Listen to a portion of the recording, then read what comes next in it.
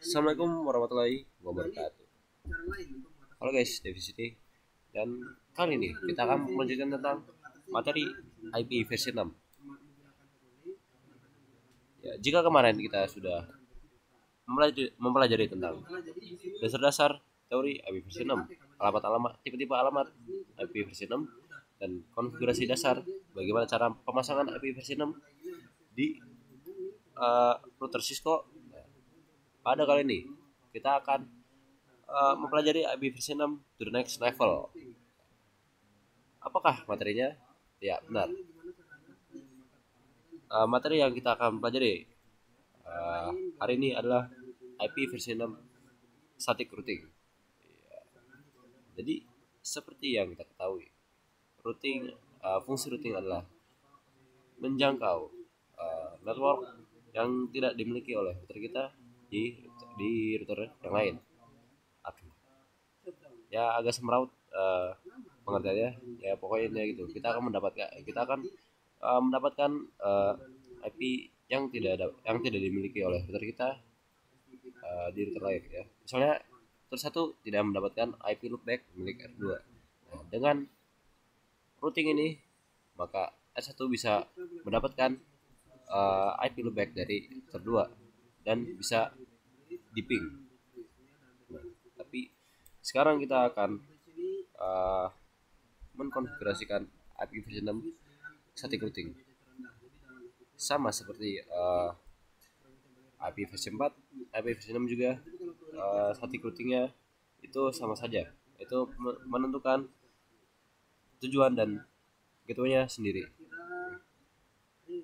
Lain halnya jika kita uh, menggunakan dynamic routing misalnya seperti EGRP, OSPF, RIP dan lain-lain.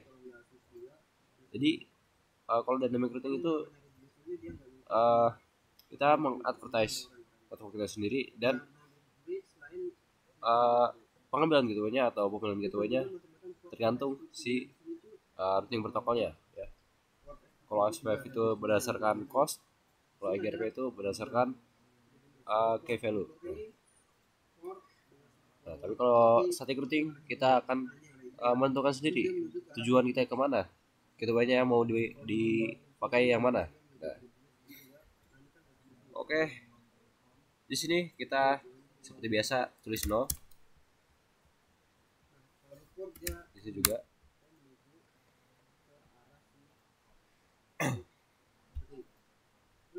Tunggu sebentar ini memang agak lama ya. Pertama-tama dan paling utama kita konfigurasi namanya terlebih dahulu agar tidak semeraut. Nomor satu. Dan jangan lupa menyalakan fitur IP versi 6 di dalam router ya 6 enable. Aduh salah. Aduh saya lupa apa ya. Oh indikasi routing. Salah ternyata IPv6 IPv6 enable itu buat di interface tapi kalau di routernya itu IPv6 unicast routing iya nah selanjutnya apa? Selanjutnya kita akan memasang uh, IPv6 address di dalam interface. Interface. N00 IPv6 enable so IPv6 address 12 1 2 dan selanjutnya kita akan menyalakan interface ya. Karena default interface itu default interface di router itu mati. Nah, kita harus menyalakannya terlebih dahulu. Nah seperti itu.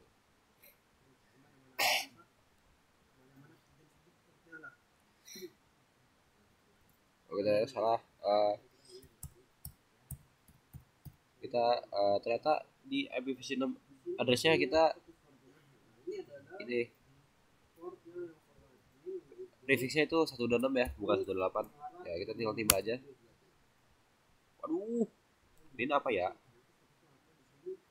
Coba kita lihat do show IPv6 brief. Face brief. Oke anggap saja lah sudah. Eh sudah. Jadi kita akan sekarang bakal uh, membuat IP loopback ya. Kita akan membuat interface loopback karena by default itu interface loopback itu nggak ada. Oke makanya kita akan ngebuat loopbacknya terlebih dahulu oke. Loopback nol. Nah. Kalau kita uh, membuat interface loopback bakal ada notifikasi seperti ini. Sekarang kita bakal uh, hidupin IP physics ya label IP physics add uh, dulu pak satu double kolom satu slash satu delapan. Itu exit. Mengapa tidak ada perintah no shutdown ya, karena saat kita membuat interface loopback maka otomatis itu udah nyala makanya kita nggak usah ngetik no shutdown lagi. Sekarang kita coba lihat. To show. Brief. Interface brief. Nah, yang kita lihat sudah ada. Ini ada.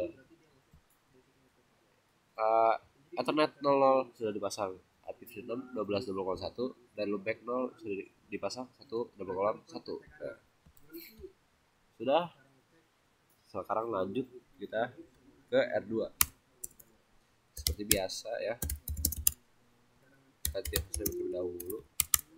Lalu nyalakan fitur M6 ya. Ketiga seperti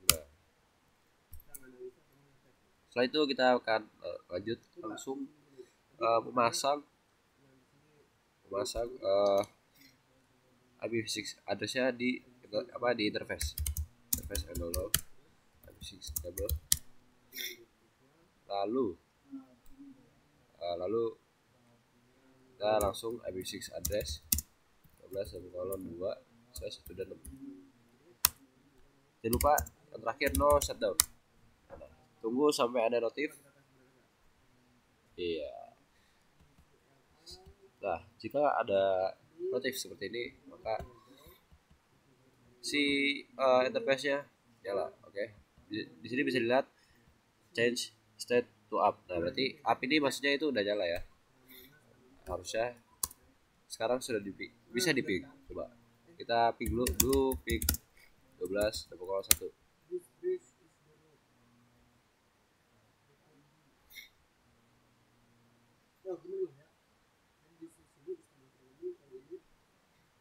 Oke, mengapa nggak bisa? Saya juga nggak tahu. Oke, kita akan mencoba troubleshoot terlebih dahulu ya. Oke, jadi seperti yang kita lihat di sini pada awal ya kita memasang IPv6 di internet Ethernet uh, 00 di router 1 itu slash 18 ini sebuah kesalahan harusnya saya uh, masangnya 126 uh, tapi saat saya mencoba mengganti menjadi 126 malah ada tulisan seperti ini. Error. 12 1 12 1 is in use. Nah maksudnya apa? Ya maksudnya kita harus mengulang lagi uh, konfigurasi internet ya. Uh, interface N00 fisik no coba. No IP6 address. Nah, langsung kita buat lagi ya. Add 12 kolon 1 slash 1 slash satu enam. Oke. Jangan lupa no set lagi. Posted jangan set lagi dah. Langsung kita ke 2 coba kita langsung duping lagi. Boom ternyata langsung bisa ya. Ingat kesalahan dalam peer to peer bisa jadi gara-gara hal sepele. Misalnya tadi yang harusnya slash 16 malah slash 18 nah mungkin itu uh, sepele atau dianggapnya sepele. Nah, tapi bisa berakibat ber, berakibat fatal yaitu nggak bisa dipik ya. Padahal itu peer to peer harusnya syarat utama uh, mengkonfigurasikan routing itu adalah peer to peernya harus bisa ngeping dulu ya. Jangan sampai salah lagi. Nah, habis itu karena di router 2 kita belum masang belum membuat interface loopback maka mari kita bikin. Jadi loopback itu bisa disingkat jadi LO 0 nah, jadi loopback 0 itu bisa disingkat jadi LO 0 mantap. Habis itu kita buat apa tambahkan IPv6 addressnya. 2.2 slash 28 langsung no shut eh uh, tidak pakai no shut itu nggak apa-apa ya dan di sini yang kelupaan adalah ya IPv6 enable dulu ya. Nah. Oke sekarang sudah dibuat loopback interface loopback di router 2 nah sekarang hal yang perlu kita lakukan sekarang adalah mengkonfigurasikan static rootnya nah, jadi karena sudah semua kita bakalan langsung konfigurasi static root IPv6 nah, jadi gimana caranya mengkonfigurasi atau apa konfigurasi ya nah, jadi itu konfigurasi static root IPv6 itu sangat simpel. Itu tinggal gini IPv6 root. Nah jadi perintah IPv6 root itu uh, adalah untuk menjalankan static root di IPv6 nah, jadi setelah itu kita bakal masukin masukin uh, tujuan uh, tujuan tujuan eh tujuan kita mau uh, menghubungkan apa, network mana ya. Karena kita belum dapat itu uh, IP loopback milik R1 maka kita di sini tulis IP dari loopback di R1 tersebut ya. Nah, sudah. Jangan lupa prefixnya 18. Nah, setelah uh, tulis uh, setelah tulis tujuannya kita bakal tulis gateway-nya. Nah, karena gateway atau uh, jalur menuju IP loopback milik R1 itu 12 double colon 1, maka kita di sini tulis 12 double colon 1. Nah, seperti ini sudah. Enter. Mungkin butuh beberapa waktu untuk ya menghubungkan ya. Dan saya di sini masih ketawa apakah berhasil atau enggak mari kita coba oke coba duping satu double double satu. Dan berhasil ya. Wow. Sangat mantap ya static root ini. Tidak perlu waktu yang lama langsung bisa diping coba. Ini uh, router 2 bisa ngeping ke bisa ngeping ke IP loopback milik R1 karena sudah di static root. Nah, coba kita dari router 1 ngeping ke ngeping ke IP loopbacknya milik R2. Di sini di router 1 belum kondisinya belum di static root sama sekali, oke. Coba kita do ping 2 double 2. Wah. Di sini bisa dilihat ada tulisan no valid route for destination nah, berarti uh, si rute satu itu nggak tahu rute untuk ke dua double column dua itu mana oke? Okay? karena kita belum pasang static route ya nah, coba sekarang kita bakal pasang static route ya itu uh, IP6 route dua double column dua slash satu delapan. Dua belas double column dua. Karena gateway si gateway untuk menuju uh, IP loopback milik R2 itu adalah 12.2 12.2 maka ditulislah di sini bisa enter. Oke.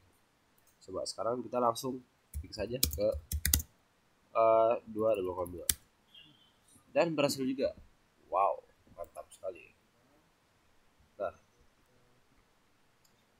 Nah itulah IPv6 root uh, static root lewat uh, lewat next hop gateway oke. Okay?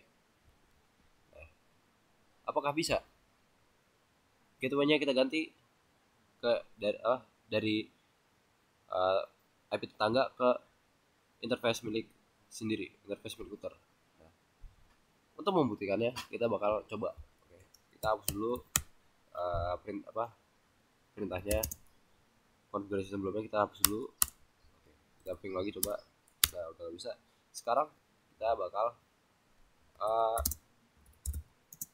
memasang gateway-nya itu berdasarkan interface dari kita. Interface interface router milik kita oke? Okay? router R1 dua ada pokok dua saya satu delapan. Interface eh masukkan. Eh nol nol. Enter. Nah.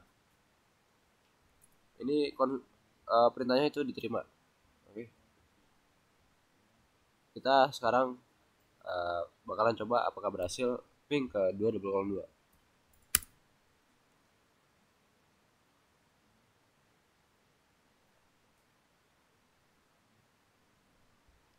Wadaw. Ini mengapa nggak bisa? Karena uh, coba kita lihat di sini interface uh, do show IPv6 interface brief. Jadi di sini Ethernet uh, E00 itu mempunyai IP versionnya sendiri, oke. Okay? Itu seperti berikut nih. jadi kalau kita mau uh, gateway kita dipasangnya di interface maka kita harus menuliskan uh, IPv6 milik milik interface si Ethernet E00 ini jadi kita bakal hapus dulu ya IPv6 root ini. Dito no IPv6 root. Dan kita harus buat lagi. IPv6 root 2.2 128 dan tuliskan uh, API versi 6 yang ini. Oke okay? milik si internet internet 00 oke okay, oke. Okay. FR 80 double kolon 8 BB masuk kolon lagi CCFF kolon lagi FE 00 kolon 1000 Nah, selanjutnya kita enter. Oh, data di sini harus kita uh, masukkan juga interface-nya. Eh, nol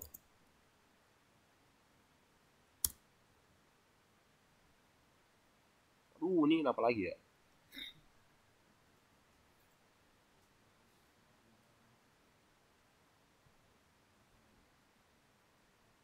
Oke, sebentar guys, kita troubleshoot dulu di sini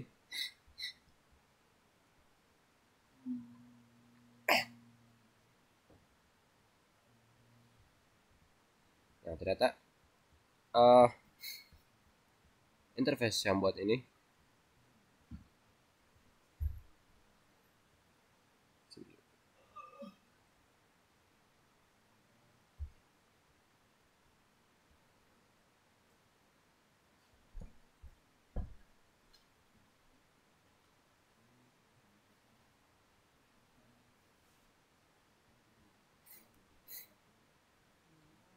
ternyata interface yang harus kita gunakan itu bukan dari R1 melainkan interface-nya R2 oke oke mari kita lihat di R2 do show interface.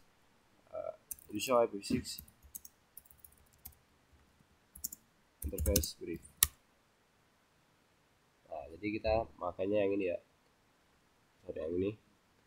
Nah, kita harus pakai uh, IP link lokalnya si Ethernet R00 milik R2 coba mari kita uh, coba. Mari kita coba.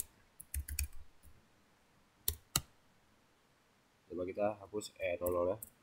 Apa masih bisa? Oh berarti harus memakai E00 ya. Habis itu kita enter. Oke. Dan ternyata ini keterima ya. Nggak kayak yang sebelumnya. Mohon maaf ya. Saya sedikit lupa uh, tentang materi IPv6 static root oke. Okay. sekarang mari kita coba ping ping dua kalian dua. Dan berhasil ya. Nah itu adalah static root gateway-nya uh, melewati interface oke. Okay? nah jadi IPv6 static root sudah selesai. Nah, mungkin itu saja yang bisa saya sampaikan. Mohon maaf kalau ada yang salah memang ada yang salah sih. Mohon maaf kalau tadi salah. Dan terima kasih sudah mendengarkan. Saya harap kalian bisa mengambil kebaikannya dan membuang keburukannya. Mohon maaf kalau saya kurang jelas karena saya tidak pakai headset. Plus saya lagi pilek. Dan saya juga lagi bad mood gara-gara Spanyol kalah lawan Marco. Dan Spanyol tidak bisa ke lama besar. Oke. Sekian dari saya akhir kata. Assalamualaikum warahmatullahi wabarakatuh